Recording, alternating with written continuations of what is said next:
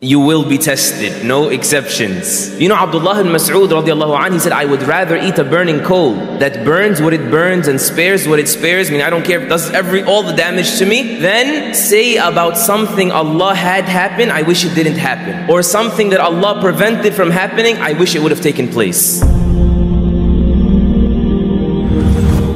Abdullah al-Mas'ud continues to say in another narration, you know a person makes a decision, business or otherwise, I'm going to get into this investment, I'm going to marry this person, and then Allah Azza wa Jal says to the angels, get in the way between my slave and this person. Because if I facilitate it for him, if I let him have it, it will admit him into the fire. He'll fall apart, he'll unravel, he'll forget me. And so he wakes up in the morning, having been now blockaded from his wishes, swearing he got struck by the evil eye, swearing bad luck, and it is nothing, Ibn Mas'ud says, but the bounty of Allah over him. Can you imagine Umm Sulaym radiallahu anha? And this hadith is as authentic, arguably as authentic as the Quran. It is in Bukhari and Muslim, is the highest caliber of authenticity. This woman does not have a miscarriage. She has the baby, sees the baby, builds that relationship with the baby. The day the baby dies, she's able to bury him and hide that from her husband till she gives him dinner and he sleeps with her and she tells him, listen, she doesn't, she's not even firm. She's keeping others firm. She's telling him, listen, I have a question.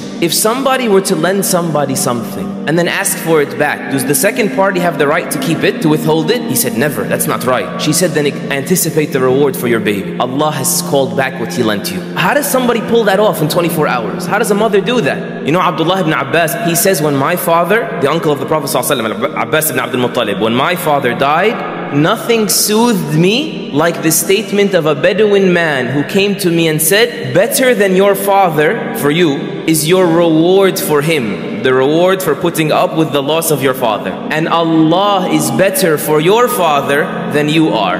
You know Imran al-Husayn radiallahu ta'ala anhu, Ibn Hajar said it's been confirmed that Imran al-Husayn spent the last 30 years of his life in bed, not able to stand or even sit up. You know that does to a person? Physically of the sores, psychologically of depression. He says they even had to cut a hole in his bed under him, meaning to relieve himself. And this is a noble companion. This is the same companion who narrated the hadith, understandably, when the Messenger said, Pray standing if you can't, and sitting, and if you can't, then on your side.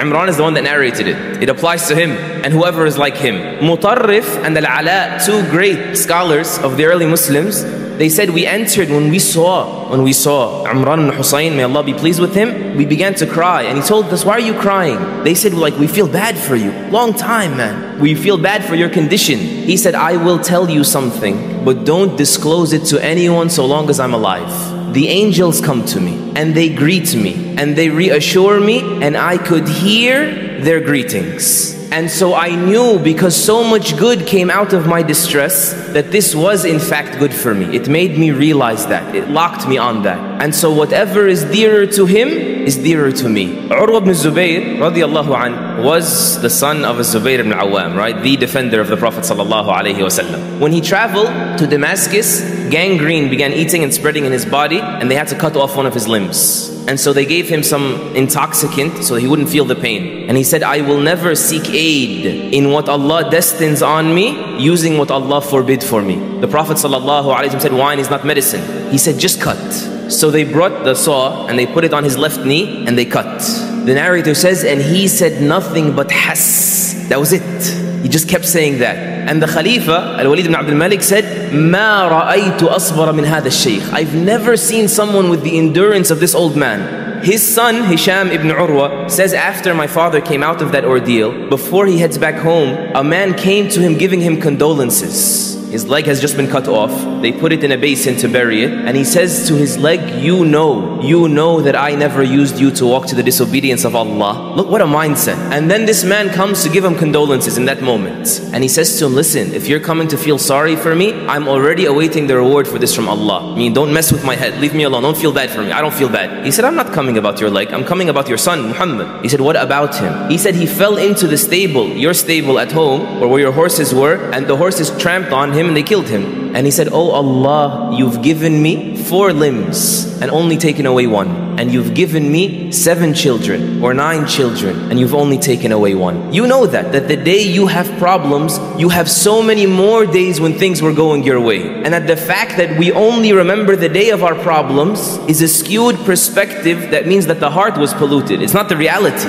Who's able to fix that for you? The way he fixed it for Al-Zubayr was able to get him to look with that kind of perspective. It was his commitment to Allah, the nearness of his heart to Allah. That is the only thing that can make you unbreakable. The Prophet wasallam, he told us, "Man yuridillahu bihi khayran yusib minhu, aw yusab minhu." In another narration. So be patient and seek your patience through Allah, and know that when Allah wishes well for a person, He afflicts him and He allows others to, meaning He gives people access to you. People are going to betray you, disappoint you, get the upper hand at times on you, or something beyond people, and a natural occurrence as they call it nowadays. Right? These things will continue to happen whenever Allah loves a person. You know why? Because the person is either going to have his levels raised because of this, or he will have his sins forgiven because of this. And those are both good.